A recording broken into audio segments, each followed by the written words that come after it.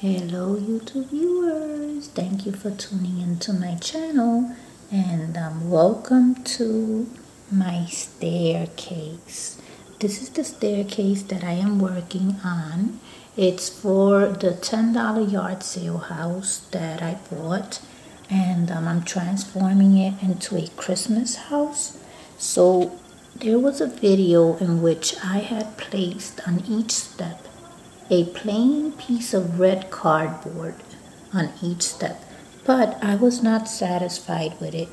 I felt like it needed a warmer feel, like maybe a rug on each step. So what I did was I took a ribbon I, that I bought at the Dollar Tree. It's a nine foot ribbon. Look at how pretty it is with the candy canes.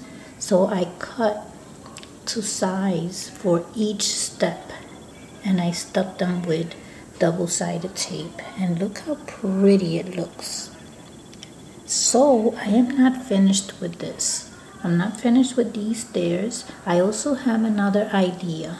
On the side there of the stairs I plan to use these um, they're, they're little forks that you stick into the cheese or salami when you serve it to guests.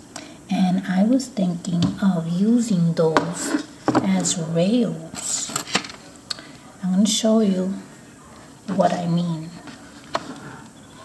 Okay, so let's say I place one right there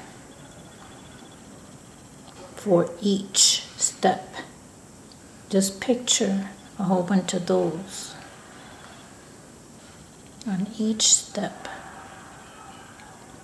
That's what I plan to do. So I'm going to make this staircase come to life even more.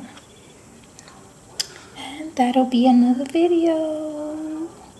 I thank you for watching.